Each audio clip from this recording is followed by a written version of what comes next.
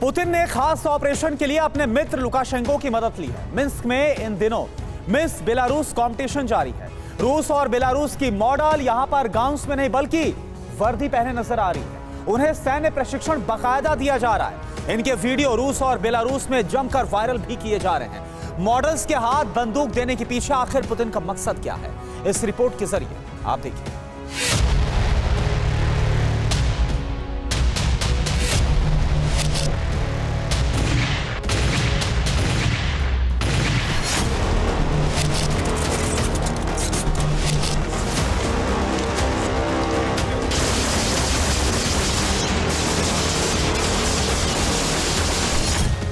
यह है पुतिन का operation, Miss Belarus.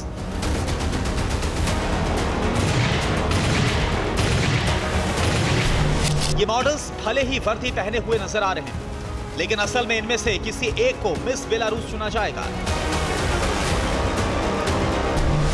Beauty competitions में अभी तक शायद मॉडल्स को गाउन्स की बजाय वर्दी में दिखाया गया।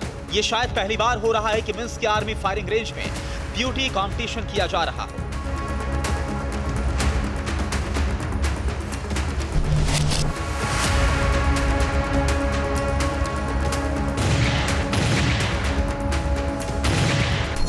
इन मॉडल्स को बंदूक चलाना सिखाया जा रहा है। इनको निशाना लगाने का अभ्यास कराया जा रहा है। और इसके बाद इनमें से किसी एक के सिर पर मिस बेलारूस का ताज रखा जाएगा।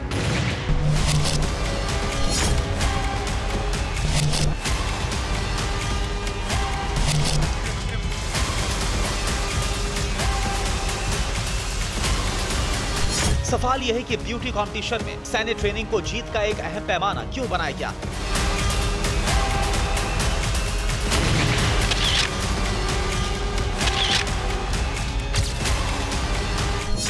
ने यूक्रेन पर धावा बोला तो मकसद था रूस का विस्तार और साथ ही रूस की जनसंख्या बढ़ाना। जनसंख्या की कमी का संकट पहले ही था और युद्ध में रूसी सेना के जवान बड़े पैमाने पर मारे जा चुके हैं।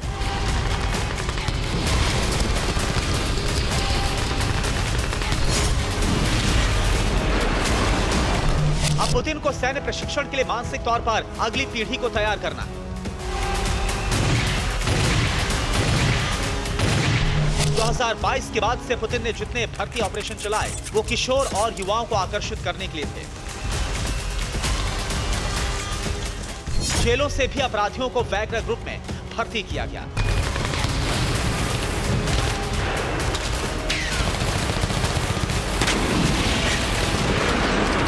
लेकिन लंबे युद्ध के आसार को देखकर अब लड़कियों और युवा महिलाओं को आकर्षित करने का प्लान है।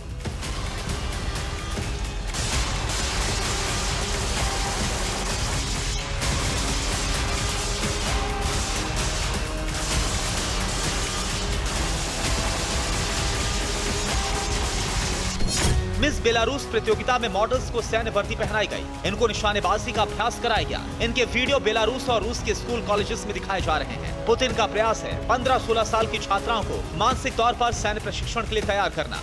बच्चियों के मन में देशभक्ति की भावना मज़बूत करना।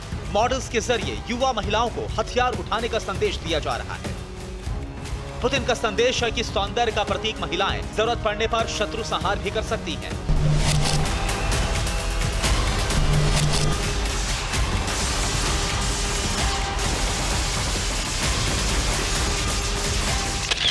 और अब रूस को ऐसी महिलाओं की ज़रूरत है जो युद्ध में देश के लिए बलिदान दे सकें।